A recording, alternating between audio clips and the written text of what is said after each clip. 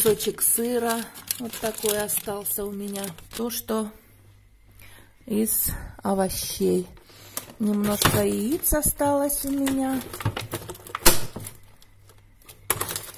Немножко яиц. Вот Здравствуйте всем, друзья! Снова из Туманного Альбиона веду вам свой репортаж.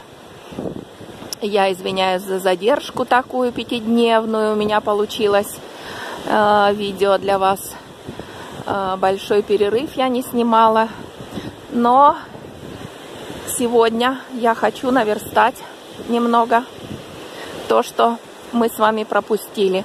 Ну, конечно же, я пришла гулять на берег. Замечательный, красивый Колвердаун вы видите впереди.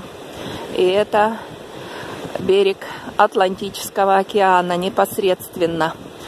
Так вот, друзья, э, если будет шуметь э, в э, микрофон, то я перейду, наверное, в студийную озвучку.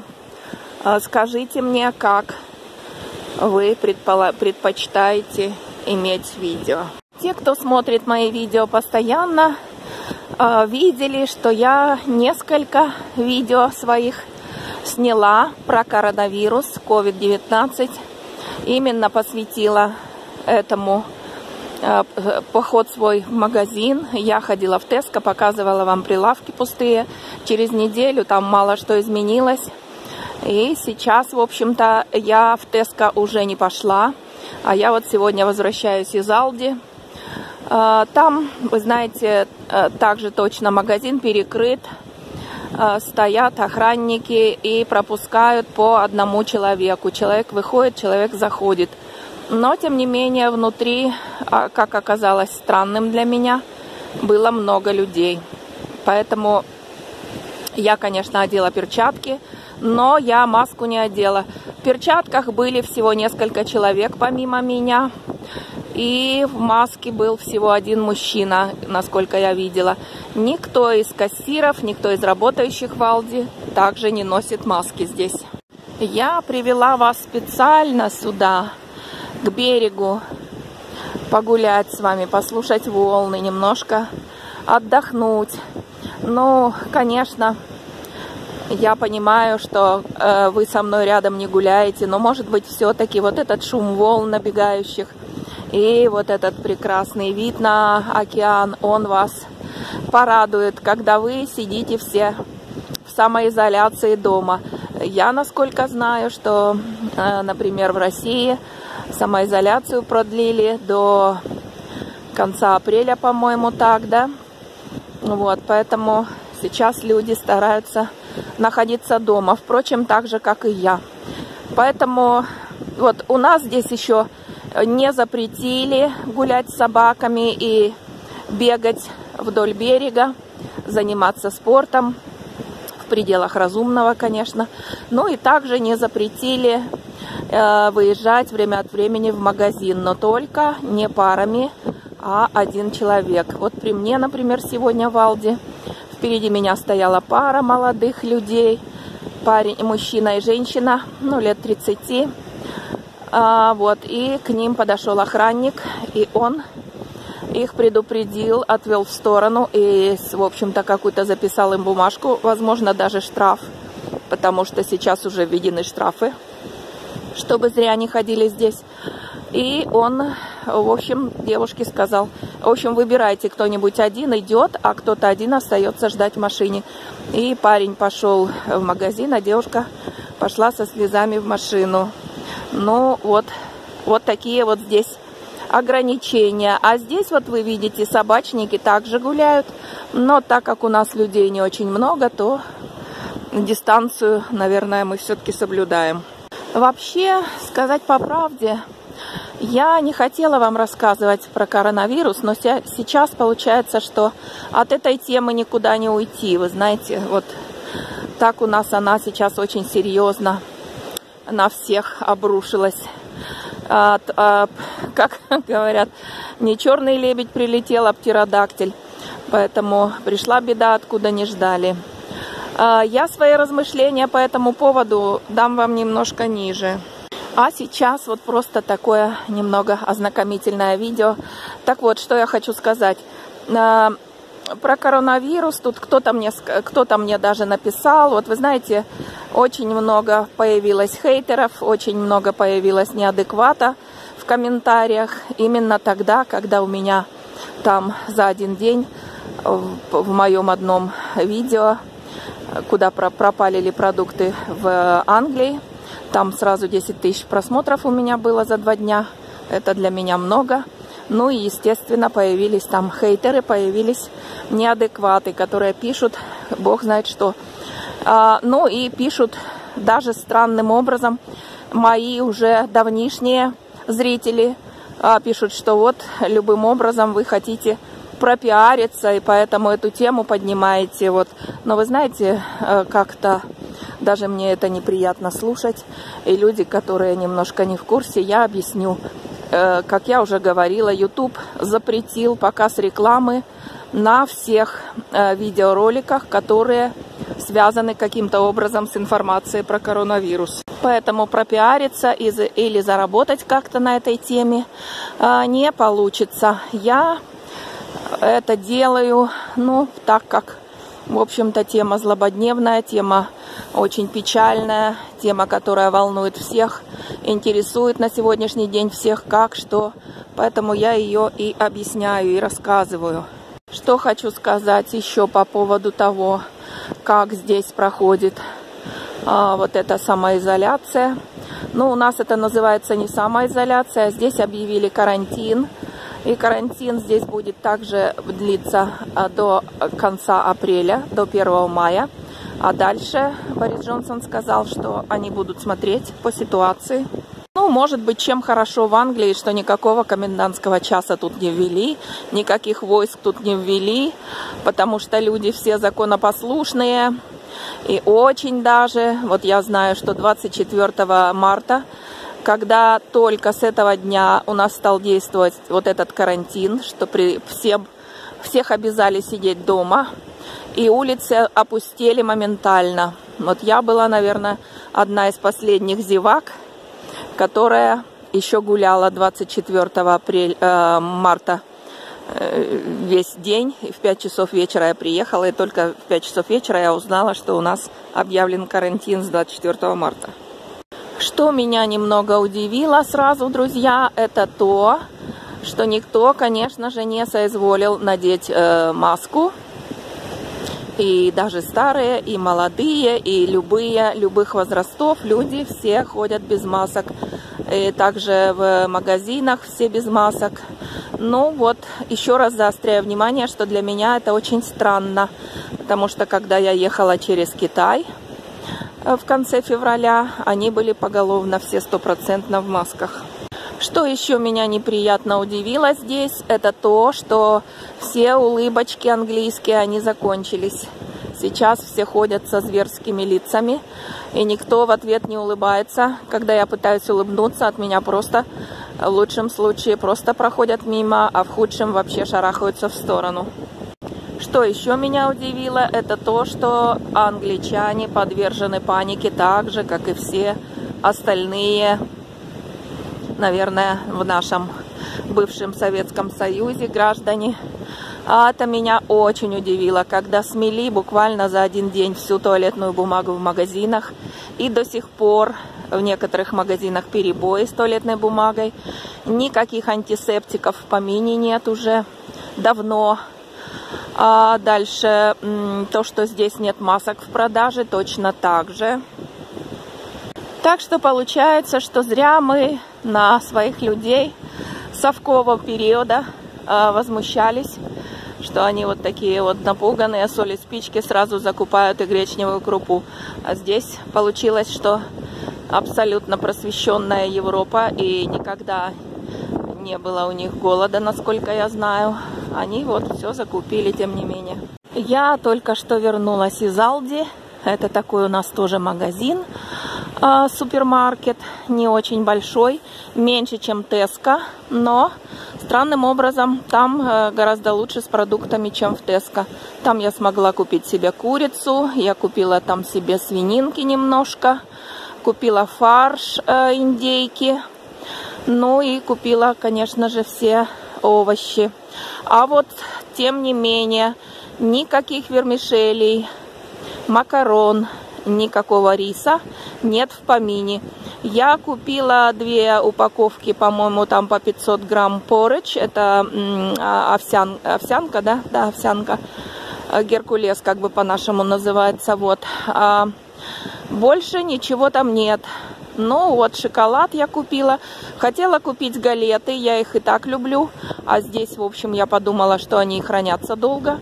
Мне не хочется ходить э, раз в три дня, как я обычно ходила в магазин за продуктами.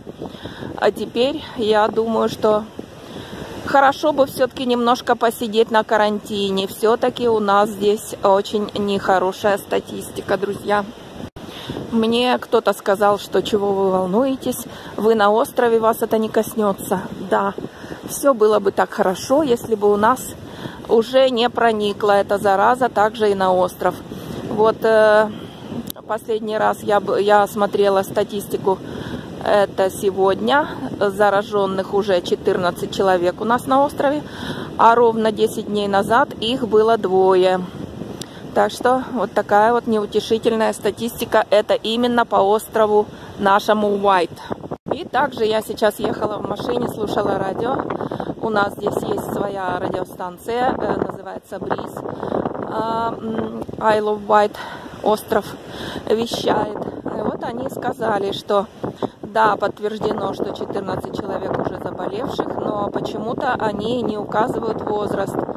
А, как вы знаете, Англия это очень страна пожилых людей.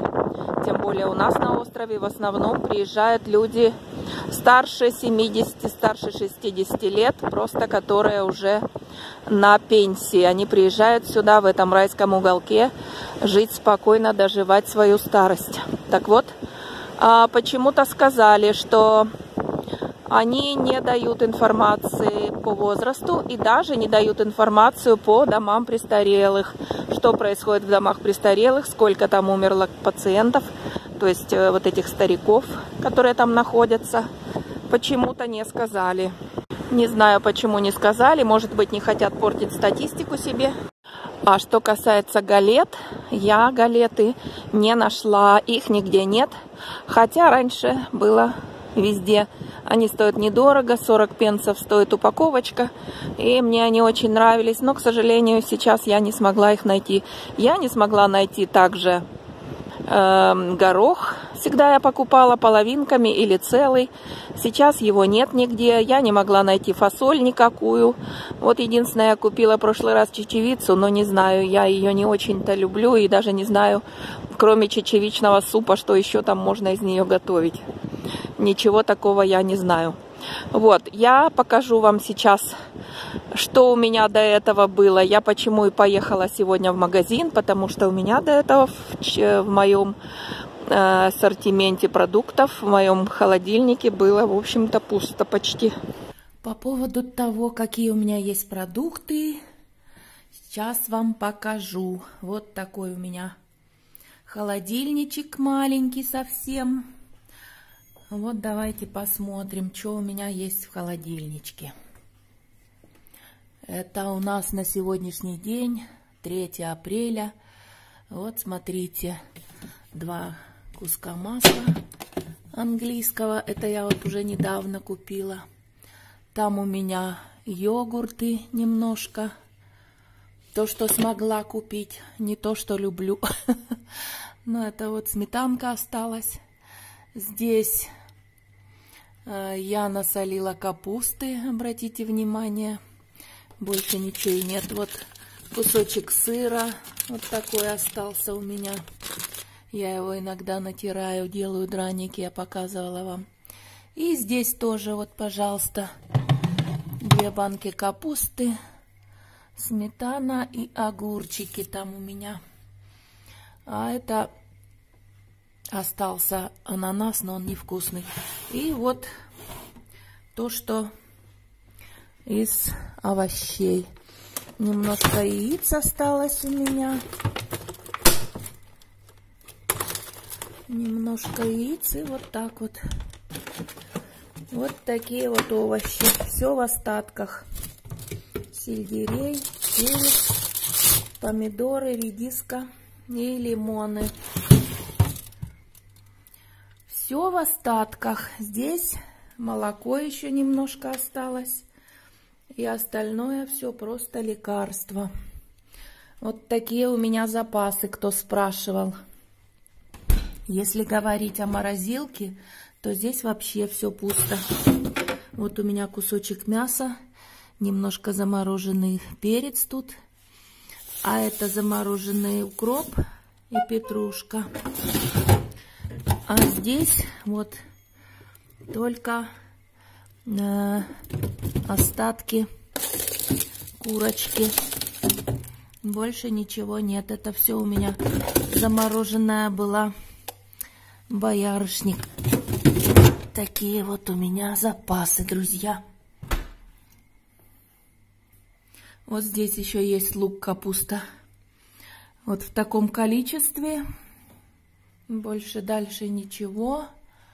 Это, видите, у меня молоко кокосовое. А если показывать крупы, вот они все мои крупы. Остатки гречки, а, это килограмм чечевицы, это льняное семя в разных вариациях, это кунжут и рис. Рис был серый, я его там уже, коричневый вернее, но я его смешала, потому что это... А здесь все больше. Что у нас здесь? А здесь у меня остатки пасты. Все, пустота. Это кофе, это чай. У меня запасов никаких нет, друзья, вообще.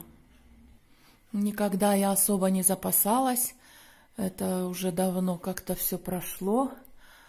А, не знаю, никаких кладовок у меня нет, гаражей нет. Сейчас говорят, в гаражи все затарили, кладовки затарили. А у меня вот все, что есть. Все промтоварные магазины здесь также закрыты с 24 марта. А, закрыты все хозяйственные магазины, сантехника, вот B&Q, знаете, все кафе закрыты. Моя любимая Busy Bee, магазин шикарный, в котором я очень часто с вами гуляла, он тоже, к сожалению, закрыт. В общем, э, все бары закрыты, пабы все закрыты, закрыты все рестораны и закрыты все отели. Поэтому вот такая ситуация на сегодня. Автобусы курсируют, тем не менее, автобусы ездят. У нас здесь, вы знаете, автобусы двухэтажные, огромные. Они и так-то ездили полупустыми, а сейчас они ездят пустыми вообще. Но, наверное, э, мало ли, если кому-то из стариков понадобится автобус, то они могут его с удовольствием применить для поездки за продуктами. Хотя здесь тоже, э, говорят, работают волонтеры. Я не сталкивалась, но говорят, что волонтеров очень много, работают, разносят продукты по домам людям старше 70 лет. Вот у меня знакомая, кстати, Татьяна, вы ее знаете. Она работала в Теско. Она там работала не так и долго, по-моему, что-то два года. Но, тем не менее, ее не забыли. Она уже на пенсии уволилась, э, вышла на пенсию. И, тем не менее, ее не забыли. Ей привозят продукты бесплатно из Теска. Также я слышала вчера, по BBC объявляли о, те, о той помощи, которая будет оказана. А, я говорю о малом бизнесе, значит, вот сейчас там выделили миллиарды э, фунтов стерлингов для того, чтобы поддержать малый бизнес. И сказали, что всем, у кого был там, по-моему, годовой оборот что-то 50 тысяч фунтов, это не так и много, это совсем мало если вот такой годовой оборот у вас был, и у вас малая, э, малый бизнес, то вам будут помогать 2000 в месяц будут вам выплачивать безвозмездно от государства. Вот такая помощь. 2000 фунтов в месяц малому бизнесу. Я надеюсь, друзья, что вы все здоровы, что у вас э, достаточно продуктов, чтобы находиться какое-то время в самоизоляции. Я надеюсь, что у вас хватит денег для того, чтобы закупить продукты столько, сколько вам нужно. Я надеюсь, что у вас все в порядке и желаю в дальнейшем, чтобы так же и было. Ну, а на этом, друзья, я с вами прощаюсь. Не забывайте смотреть рекламу, ставить лайки. Подписывайтесь на мой канал, те, кто еще не подписался. Всего вам доброго, берегите себя, будьте здоровы. Пока-пока.